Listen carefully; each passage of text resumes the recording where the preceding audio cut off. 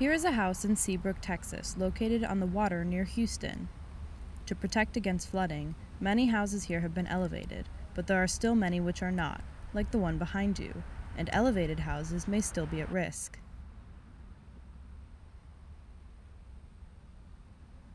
Let's get a closer look at the simulated model house in front of you.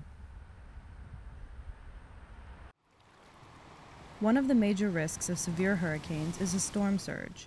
A storm surge is essentially a massive wave that is caused by hurricane force winds pushing water onto the land. During Hurricane Ike, there was a storm surge of about 10 to 13 feet in this area. Scientists have modeled the possible effects of superstorms.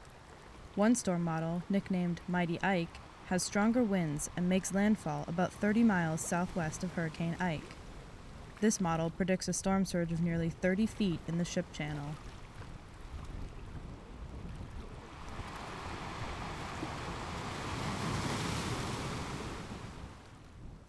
A surge of this height would be devastating, and not just to those communities right on the coast. The hurricane's winds would push water from the bay onshore before the storm even arrived, causing flooding. To learn how Houston's oil and chemical industry puts it at risk during severe storms, watch the industry experience.